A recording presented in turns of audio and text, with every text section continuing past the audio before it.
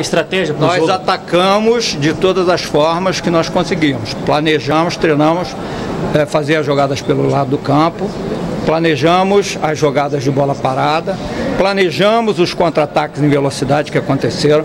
Nós criamos várias oportunidades no primeiro tempo, criamos várias oportunidades no segundo tempo. O árbitro podia ter dado dois pênaltis e nós saímos daqui com 3 a 1 ou 3 a 2.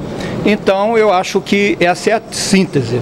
Agora, quem não tem boa vontade, quem quer usar o lado pejorativo, faz o tipo de pergunta que você fez. Só que você repete isso, todas as vezes você repete a mesma coisa. E eu calmamente tenho administrado. Mas hoje a sua insistência, muito difícil, muito difícil.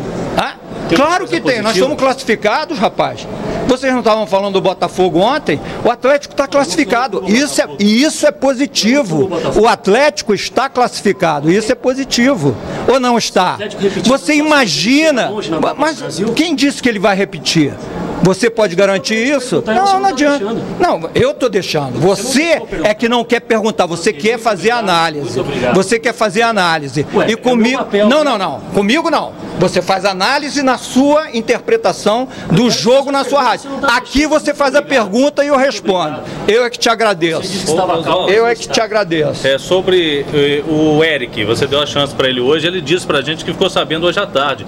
É, a mudança foi realmente técnica. Caralho, é você, ô babaca. Caralho, é você. Isso. Que porra é essa? Tá pensando que tá falando com quem? Tá pensando que tá falando com quem? Que negócio de caralho é esse? Só você ouviu isso. Só você ouviu isso. Ô babaca. Tá pensando que tu é o quê? Só você Tu tá pensando que tu é o quê?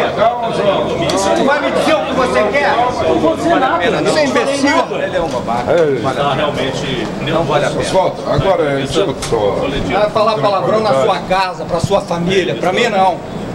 Vamos lá agora com uma tranquilidade. Você tava, é, É, perguntando né? sobre o Eric, né? A oportunidade dele, o Casares saindo do time desse jogo. É, o Casares deixou a desejar no último jogo. Então hoje eu preferi mexer, nós íamos precisar de velocidade. Acho que o Eric fez isso muito bem, numa jogada combinada com, com o Roger, acabou fazendo o gol e satisfez plenamente. No segundo tempo, sentiu o ritmo do jogo, não aguentou mais, e aí o Marcos Túlio entrou no lugar dele. Agora o Otero trabalhando mais ali pelo meio e depois você fez aquela mudança, né? Até entrando o Luan, o Otero foi para a ponta. É, realmente. É, é pena que o Luan não está ainda em condições de jogar 90 minutos, né? O Luan não está em condições de jogar 90 minutos. Então a gente tem que utilizá-lo dentro da medida homeopática que nos cabe. Se ele pudesse jogar, ele iniciaria o jogo. Como ele não pode, eu uso ele. Ia entrar no intervalo, como nós fizemos o gol empatamos. Eu quis dar um pouquinho mais de tempo a ele, porque você vê como ele acaba o jogo, ele se expõe demais. Ainda não está bem preparado, por isso eu deixei passar 10 minutos para que ele pudesse eh, render mais na partida. Né? E ele acabou fazendo bem o trabalho, criou boas oportunidades. Palavra do técnico Oswaldo de Oliveira, a gente viu aí, ele até se desentendeu com um dos jornalistas lá na entrevista coletiva. Daqui a pouco vou repercutir isso aqui com o Rodrigo Bueno, mas o Atlético se classificou, empatou lá no Acre com o Atlético do Acre, 1 a 1 Oswaldo ficou nervoso, mas o Galo tá na próxima fase da Copa do Brasil. Vamos lá pro Morumbi. Cueva tá falando. Você sentiu